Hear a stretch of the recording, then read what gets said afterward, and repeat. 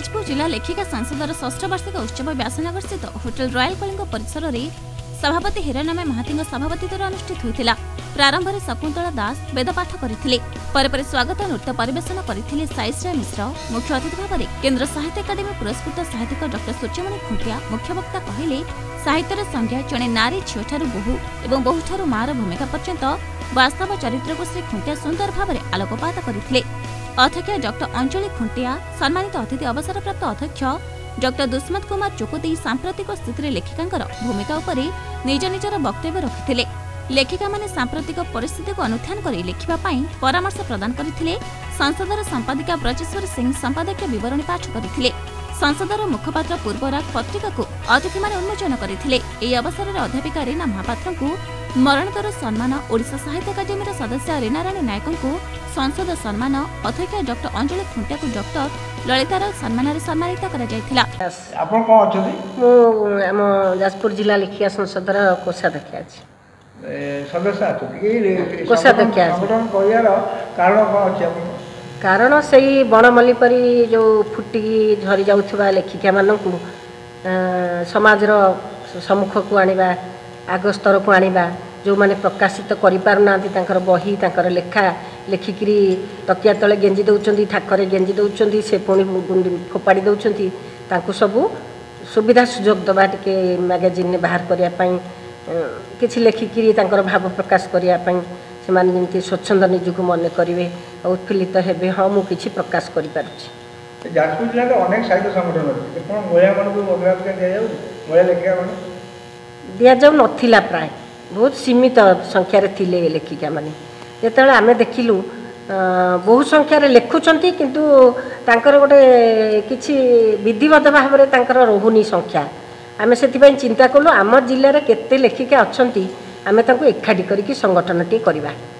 ସେଇ ଉଦ୍ଦେଶ୍ୟ ନେଇକି ଆମେ ଗୋଟେ ସଂଗଠନ କଲୁ ଆଉ। ଆଜିକି ଆଠ ବର୍ଷ ତଳେ ତେର ଚଉଦ ମସିହାରେ ଆମେ ଏଇଟାକୁ ଆରମ୍ଭ କରିଥିଲୁ। ତ ଚାଲିଛି ଆଉ ଆମେ ଆମର ଆମ ଜିଲ୍ଲାରେ ଦଶଟି ବ୍ଲକ ଅଛି। ଦୁଇଟି ମ୍ୟୁନିସିପାଲିଟି ଅଛି ସବୁ ଲେଖିକା ସବୁ ଅଞ୍ଚଳ ଠିକ୍ ହଁ ଆମେ ବି ମିଟିଂରେ ରଖୁଛୁ ଯେ ସବୁ ବ୍ଲକକୁ ଯେମିତି ଛୁଇଁବା ସବୁ ବ୍ଲକରୁ ରିପ୍ରେଜେଣ୍ଟେଟିଭ୍ ଆଣିକି ଆମ ଜିଲ୍ଲା ସଂଗଠନରେ ରଖିବା। ଆଉ ବ୍ଲକ ୱାଇଜ୍ ଆମେ ଯାଇକି ପ୍ରୋଗ୍ରାମ୍ କରିକି ତାଙ୍କୁ ସେଇଠି ଯେଉଁମାନେ ପାଇପାରୁନାହାନ୍ତି ସୁବିଧା ଲେଖିବା ପାଇଁ ତାଙ୍କୁ ଆମେ ସେ ସୁବିଧାଟା ଦେବା।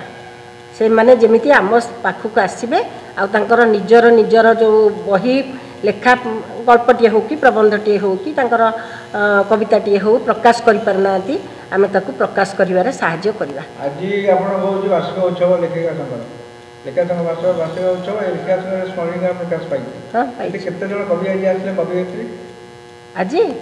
ଆଜି ତ ସଂଖ୍ୟା ଥିଲା ଆ, ସତୁରୀ ପାଖାପାଖି। ମାନେ ଖାଲି ଲେଖିକା ନୁହନ୍ତି ଲେଖକ ବି କିଛି ଥିଲେ ତା ଦେହରୁ। ଆଉ ଶ୍ରୋତା ବି ଥିଲେ।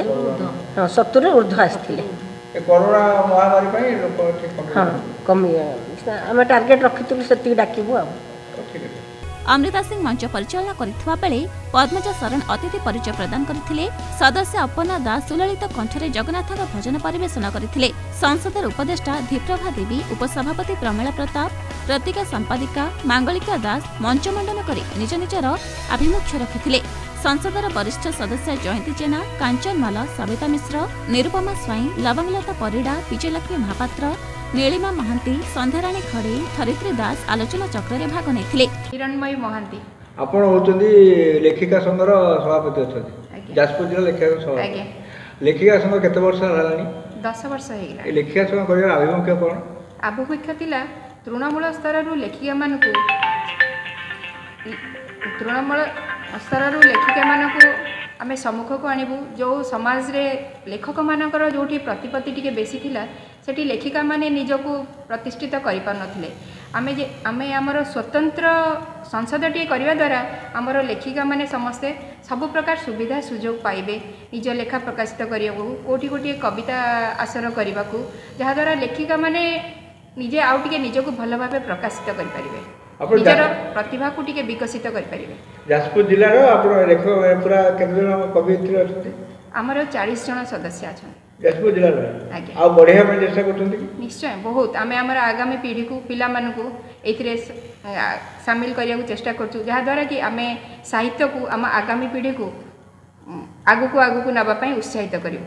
ମହିଳାମାନଙ୍କୁ ଆପଣ ଅ, ଜାଗ୍ରତ କରିବା ପାଇଁ ଲେଖେ ଏହାସଙ୍କର ହେଉଛି ମୁଖ୍ୟ ଉଦ୍ଦେଶ୍ୟ। ଆଜ୍ଞା। ଏଇଭଳି ସ୍ମରଣିକାଟି ପ୍ରକାଶ କରିଛନ୍ତି। ଆଜ୍ଞା। ସ୍ମରଣିକାଟି ପ୍ରକାଶ କରିବା ଦ୍ୱାରା ଲେଖା ଲେଖିକା ମାନେ ଅ, ମାନେ ସୁଯୋଗ ସୁଯୋଗ ପାଉଛନ୍ତି। ନିଜର ସୃଜନ ଶକ୍ତି ଯେଉଁଟା ରହିଛି ଆମମାନଙ୍କ ଭିତରେ ତା ସେ- ଗୋଟେ ପତ୍ରିକାରେ ସେଇଟା ପ୍ରକାଶିତ ହେଲେ ନିଶ୍ଚିତ ଭାବରେ ଆମମାନଙ୍କୁ ଭଲ ଲାଗେ। ଯାହା ଯିଏ ବି ଲେଖାଟିଏ ଲେଖେ ପତ୍ରିକାରେ ନିଜର ଦେଖ- ଯେତେବେଳେ ଦେଖେ ତାକୁ ନିଜ ଗୋଟେ ସନ୍ତାନକୁ ଦେଖିଲେ ଯେମିତି ଖୁସି ଲାଗେ। ଆମେ ନିଜର ଲେଖାଟିଏ ପତ୍ରିକା ଭିତରେ ଦେଖିଲେ ବା ବହିଟିଏ ଭିତରେ ଦେଖିଲେ ଆମକୁ ସେମିତି ଖୁସି ଲାଗେ। ମୋଟାମୋଟି ନାରୀ ଜାତିକି ଆପଣ ଜାଗ୍ରତ କରିବା ପାଇଁ ଏଇ ସଂଗଠନର ମୁଖ୍ୟ ଆଜ୍ଞା। ପ୍ରଥମ ଅଧିବେଶନରେ କବିତା ପାଠ କରାଯାଇଥିଲା।